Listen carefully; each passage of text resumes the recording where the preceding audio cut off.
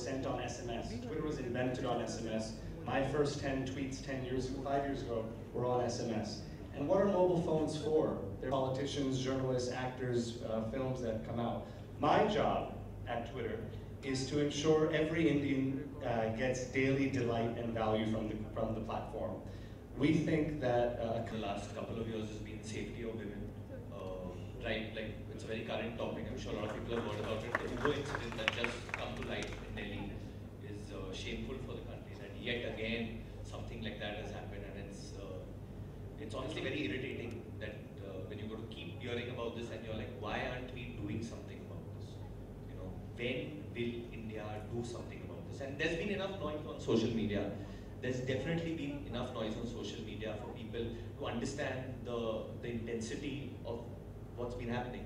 So I, I think for one way is, you know, I can go on tweeting and saying this is happening, but I don't think that still people are getting it in their head.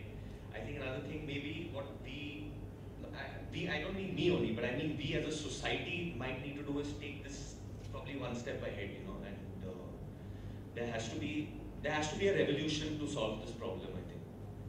These things, uh, these rapes and this injustice on, on trying to show that women are the weaker sex or picking on people who are weaker than you, that needs to start because India is an evolved society today. We are, we are moving towards becoming a superpower. I mean, probably, you know, there are a lot of people who are here who don't know it.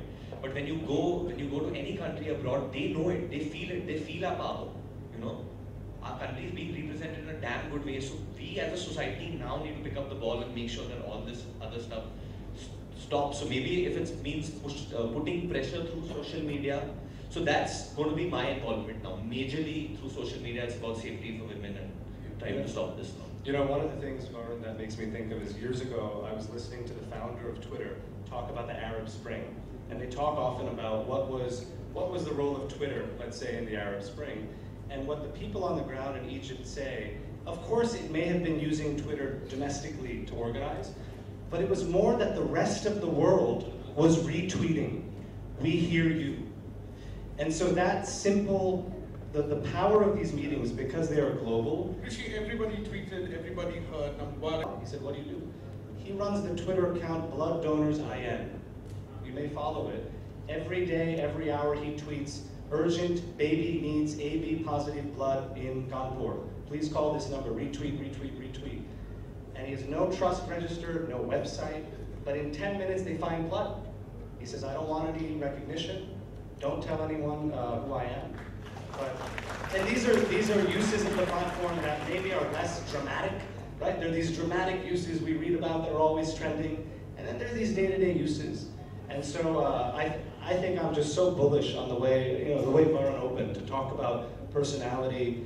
And personality doesn't always mean like, I'm cool. Personality means, here's my cause, here's who I am authentically, holistically. And the, the brands, the NGOs that, that do that, do well. And that's, that's my challenge to India, is to embrace these tools of personality. Be courageous about being yourself. And uh, I'm delighted that it's beginning now. Well, you can't. And to some extent, it is an extension of PR.